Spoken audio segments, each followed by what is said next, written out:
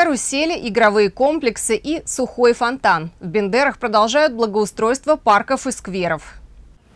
Солнышко, юнга, лодочки. Детские аттракционы советских времен. Сейчас в Бендерах они остались только на набережной. Есть здесь и веселый паровозик. Ему уже давно за 30, но он все еще на ходу.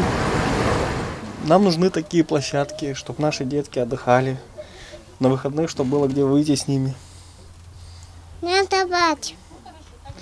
Нам очень понравилось, да?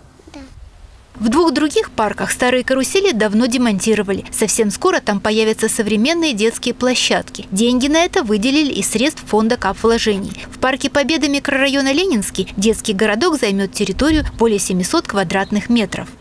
Здесь будет размещаться детский игровой комплекс э, с качелями, с каруселями, с горками.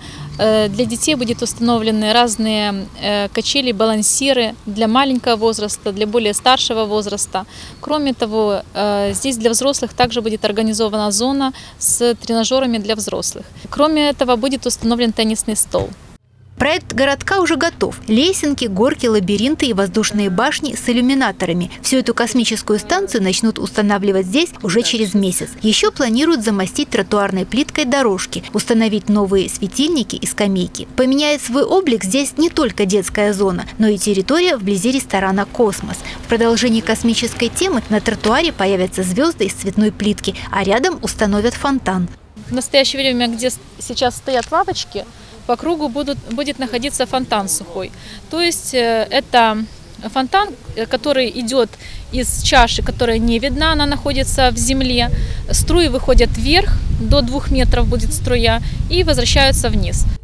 Сейчас строители работают и в парке Горького. Здесь покрывают песчаной смесью площадку для мини-футбола. Следующий этап – настил искусственного коврового покрытия. Недели через две поле будет готово принять первых футболистов. Позже рядом сделают волейбольную и баскетбольную площадки, а примерно через месяц займутся детским игровым комплексом.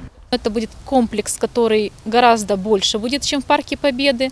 Э, здесь в этом комплексе будут совмещаться тоже зоны как для маленьких детей, так и для детей постарше.